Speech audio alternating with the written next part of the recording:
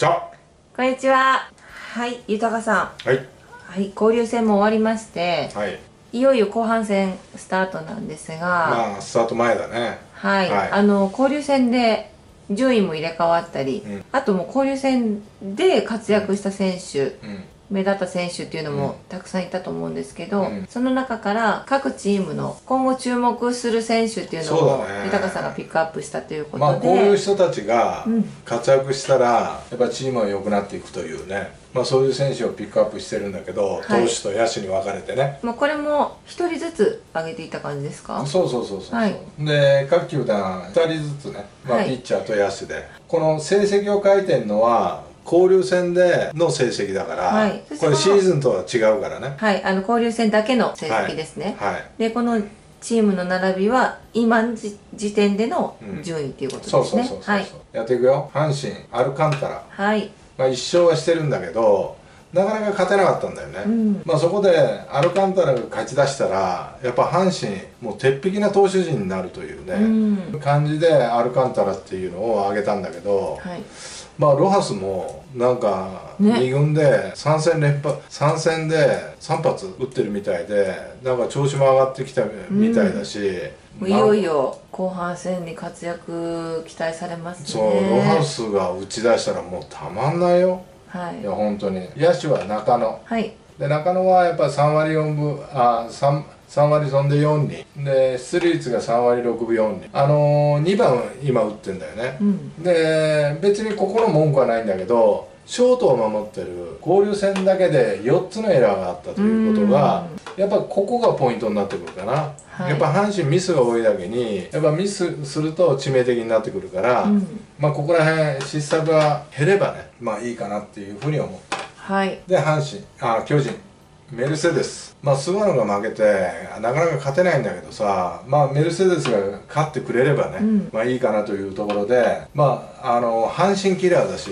メルセデスっていうのはなんか後半のポイントを握るかなっていうふうに思ってる。阪神戦では特にね、うんうん。うん。で松原野手では、で打率3割の出塁率が3割2分3厘。これ出塁率をちょもうちょっと上げてほしいんだけどさ、はい。それと、まあ、チャンスメイクはよくするんだよただやっぱこう得点圏で1割8分2厘しかなかったという交流戦ではね、はい。だからここら辺の数字をもうちょっと上げてほしいなっていうね。まあそういうことを考えてますでヤクルト。はい。で高橋奎二。ね一勝。やっと出てきたかって。はい思ったんだけど、うん。やっぱボールに力あるし、うん。まあヤクルトの先発投手陣が手薄なところで、まあ、高橋が出てくるっていうことになると今ゲーム差なしで並んでるからね巨人と、はい。だからもうちょっと上を狙えていけるという阪神に追いつくんじゃないかっていうような勢いもあるし。ヤクルトはどんどん勢いよく来てますね。来てるよね。打者ではやっぱり山田。うん。やっぱ交流戦でもさやっぱ山田哲人が打つとやっぱ勝つんだよねやっぱり、うん。でまあ打率が2割9分。で本塁打7本。もうはい文句ないんだけどさ盗塁が2しかない。で山田ってやっぱりこうトリプルスリーの力があるだけに、はい。やっぱ盗塁をもう少し後半戦増やせるといいよね体調戻って。でその辺りのバランスがちょっと今と盗塁に関してはちょっと少ないよね。少ないかなっていうとこですかね。うん。で得点圏が1割7分4厘、まあ、ここら辺も山田らしくない数字なんだけどここら辺の数字がこう解消されてくると、あのー本来の山田に戻ってくるかな。いや本来の山田に戻ったら本当にあの打線的には厚みを相当増すからね。だから山田に期待ということだよね。で中日谷。これもう10勝計算してるピッチャー。なんだよね。まあ交流戦で1勝はしたけども防御防御率が4.12これやっぱ高すぎる。でやっぱ3点台の前半にしてくれないとさやっぱ困るということ。はい。でやっぱり打てるようになったと言っても打てないからね。うん。だからやっぱピッチャーで守っていくためには2人がやっぱこの防御率を3点台前半に持っていくことが一つの鍵になってくるかなというで野手期待はどの上？はい。突然なんで上がってきたのかなっていうふうに思ったけど。まあ3割4分2厘、はい。これまあシーズン打率っていうかまあ交流戦だけの打率なんだけどさ、はい。まあ残してるというところでまああのやっぱもう本人も言ってたようにもうとにかくもう最後のチャンスだと思ってやってるという。で坂本と同期なんだよね。坂本どの上の外れ1位が坂本だから巨人、うんそのぐらいのものを持ってるんだよはい。ドル上はだから頑張ってほしいなって。いうで d n a は今永やっと交流戦で1勝した、はいあと。最後の最後に。でもやっぱ力のあるピッチャーだけに、うん。やっぱ今永が支えていかなきゃいけないし、はい。浜口なんかは交流戦の防御率ではトップだからね。0点台だ0点いくつだったかな。はい。だから今永と2枚看板で揃うとやっぱ投手陣が少し安定してくるという。う、ん。まあ、バッティングの方は交流戦でも、はい。とにかくあの打ちまくったはい。打線をバックに投げれるわけだから、はい。やっぱこう今永がか勝ち越してくるとねもっともっと順位的には上を狙えていけるということだよね。はい。で野手では桑原もうとにかくあの突貫小僧でさ本当にあの戦う姿勢を出してくれる選手で、はい。まあ、d n a にでは珍しいような、まあ、タイプなんだけど、うんまあ、交流戦での打率が2割9分5厘ただ出塁率が3割1分7厘しかないんだよね、はい。1番として。はい。これを3割8分ぐらいに上げてほしいよ、うん何でもかんでも打ちに行くんじゃなくてね。ボールもやっぱ選球できるようになってくると本当にあの2番からさあの8番大和まで本当にあの打てるからね、うん。で12番が3割残してないだけで交流戦3番から8番までは3割打ってるわけだからはい。桑原の出塁率にかかってるという。もう打つ打って出るっていうことだけではなくてもう塁に出ることに執着してっていうことですそうだね。まあ打つことも大切だけどさ、はい。やっぱりやっぱ一番打つんだったら出塁率ね。はい。広島。はい。栗林。うん。かわいそうだ交流戦6試合登板で2セーブしか上げてない。うん。ね。最後に失敗したまあ最後に失敗っていうかさ最後に点取られたけど、オリックスに、はい。でもさこの数字を見る限りではやっぱ6試合に登板して2セーブっていうことは4試合は引き分けに持ち込んでんだよね。うん。でもやっぱ抑えのピッチャーはさ、はい。やっぱ数字をつけてあげなきゃかわいそうだよまあチーム事情でそれはもうしょうがないこともあるかもわからないけども、はい。ただ栗林も疲れが見えてきてるしなんか少し大事に扱ってほしいなっていう ちょっと親心でこの栗林を挙げたんだけどね、はい。で野手では小園。はい。頑張れよこれしまあさん交流戦の数字じゃないんだけど、小園選手。うんシーズンも合わせた数字なんだけど、はい。3割5分7厘、はい。もうとにかく打つことはねもう打ってるしあとはねやっぱ若いからって遠慮しないで、うん。もうね小園がチームを引っ張っていくぐらいのそういうつもりで頑張ってほしいなって思うよね、はい。やっぱ新旧交代の時期も来てるかもわからない広島はね、うん、だからそういう意味ではやっぱ小園に引っ張ってほしいと思って、まあ、ちょっと上げたけどね。はい期待も込めて。そうそう、はい。それと阪神と巨人ヤクルト。まあ中日以降は5割以下だからちょっと話を差し控えるけどもやっぱ阪神と巨人がすぐ当たるんだよね甲子園で。うんそうですね。18日から、はい。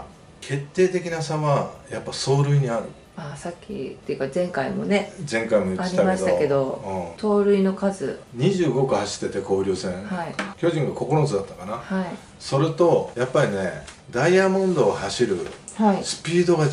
とい例えば、はい。1本のヒットで帰ってきても、はい。1本のヒットで帰ってこれない。うん。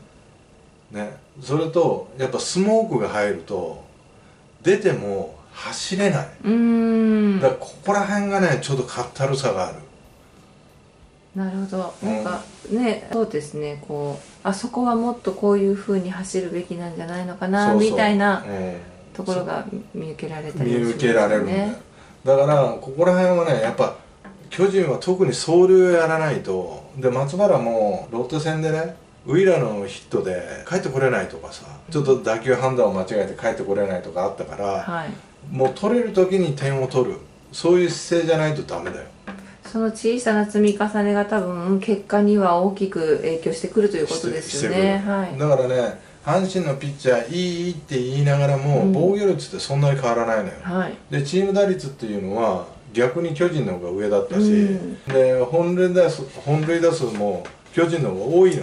はい。だけど阪神に負けてるっていうことはさやっぱ走塁が圧倒的に違うということだよ。ねはい。そこの数字は全然あのー違っていましたもんね。そうそうそうそう、はい。だからまあヤクルトもすごくチャンスがあって、はい。先発ピッチャーさえね、まあ、先発ピッチャーさえゲームを作るとやっぱ接戦になってくるし、うん。やっぱこう打撃陣がいいだけにはい。点は取ってくれるという、ただやっぱ抑えだね。はい。セットアッパーとクローザー。まあ、はい。ここら辺をしっかりしないとまあ、そこら辺の失敗してるようだとやっぱ上にはいけないし、うん。だから、まあ、ヤクルトまで言ったけど中日 d n a 広島は早く5割に持っていかないとね、うんはい。はい、まあ、セ・リーグはそんなところです。はい、では続いてパ・リーグですね。はい、パ・リーグはね、はい、いいですか。まあ、楽天、はい。マー君、うん。結局交流戦勝ちがなかった。はい。で防御率が3.00ということで。はい。でもねゲームはしっかり作ってんだわうん。でマー君にやっぱり勝ちをつけてつけてあげないと野手陣が。でしっかりゲームを3.00で作ってるし、ね、このピッチャーが勝てないと楽天の優勝はありませんよってもう言っとくよ。勝ち星をつけなきゃダメ。マー君に。マー君に、はい。ね、マー君に勝ち星がついてくるとやっぱバーンといくよ多分。ということはもうやっぱ点を取らなきゃいけない点を取らなきゃいいけない。このこのピッチャーを軸に勝たせないとダメだということ、ね。で野手は小深田はい。で素晴らしかった交流戦ではね。う、ん。で打率が交流戦で3割3分9厘。出塁率が4割飛んで9厘。はい。これを続けられるとすごい打線になるうん。で2番の鈴木大地もやっぱり率も高いし出塁率も高いんで、だからこの12番が出て出てくると浅村とか岡島とかさはい。ああいうバッター茂木とかもいいからねつながってくるということ。は12番が出ないと浅村がチャンスメイクしてるようだとやっぱ点を取るのが勝ったるだから小深田頑張る。はい。でソフトバンク東浜。まあ交流戦では1勝1敗で防御率が3.86、はい。出遅れてきたんだけどさ、うん。やっぱこうエースと言われた男開幕投手も務めた男だけに、はい。やっぱこのピッチャーがやっぱ勝てないとダメだということだよね、うん。で東浜にしては防御率が高すぎるということ。はい。それと野手では栗原、はい。打てない打てない。もうとにかく打てない。防御率がチーム防御率が12球団ナンバーワンだったんだ交流戦では、はい。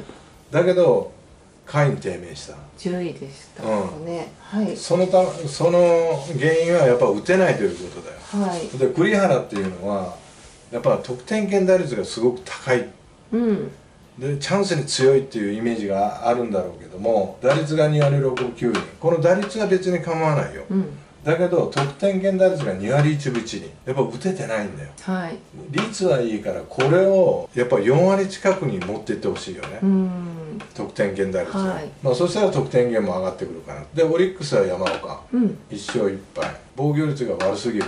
ね、うん。こんなピッチャーじゃないんだよ防御率が、ね、山本とか宮城とか、はい。まあ、いいだけに山岡が入ってくる。うん。ねまあ増井も今年いいよね、はい。うん、だから山岡がやっぱこう投手陣を引っ張るぐらいのつもりで後半戦頑張るとここに来る。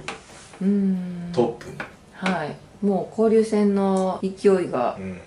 うん、でね開幕前楽天の投手陣もうやばいぞって。言ってましたね。でマー君入ってきたこれやばすぎるぞって言ってたけど双璧なのここオリックス、ほんとピッチャーいいから。で野手では福田。はい。ね交流戦の MVP 野手部門で挙げたけど、はい。やっぱ、えー交流戦では3割9分1厘うん。出塁率が5割、得点圏打率が5割8分3厘この数字を保っていけるとやっぱあそこも打線がいい。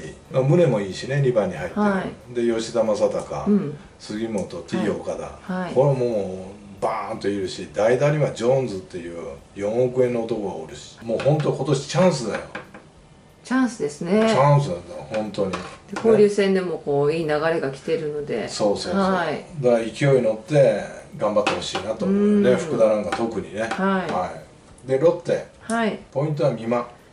ちょっと心配になるような内容ですねここのところ。まあ d n a と巨人にまあ残りわずかになった時に投げたんだけどさ、はい。まあ11点と10点取られてさ、うん。で防御率が15.92まあこれは交流戦の数字だけどね。まあ見るも無残だったよ、うん。まあ、後輩だけにさ頑張ると、はい。まあ、2軍降格したけどさ、そうですね。うん、だけどやっぱこんな力じゃないから、うん。やっぱロッテは見間頑張らないと本当に評価が高かっただけにどんどん落ちていくようん。ね。で野手もさ、まあ、安田とかもいろいろ考えたんだけど、はい。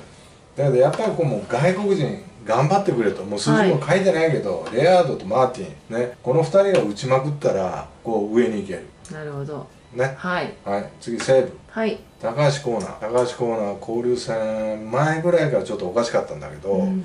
やっぱちょっと疲労かなっていうような感じがするんで疲労が抜けきれないなっていうような。なるほど。で投げてるボールも力なくなってきてるしさ、うん。これもう一回やっぱり再調整してやったら力があるピッチャーだけにこのピッチャーがやっぱ柱となって勝っていかないと西武も苦しいね。で野手も若手はすごく成長してきてはいその若手の代表が岸はい。これなんで代表にしたかというと、うん。若林が1番で1番バッターで離脱してはい。入ったのが岸なんだよ、はい。で西武の課題っていうのは秋山が抜けてからずーっと1番バッターなんだよそれがやっと埋められるような選手が若林出てきて、はい。若林が怪我。その後引き継いだのが岸。はい。交流戦の打率が2割9分6厘。はい。出塁率が3割2分1厘。はい。本塁打4本、はい。本塁打4本なんかよく打ったし、こはの打率もね2割9分6厘、うん。もう別に決して悪くはない。ただ出塁率1番を打つんだったら、ここら辺をやっぱもう数字を上げていくと、うん。やっぱ得点っていうのはもっと増えてくるかなっていうふうにど。思うよね。はい。で日本ハム。はい。はい伊藤。2勝したはい。とにかくチームがねどうやっていいのかわからないぐらい低迷するよ。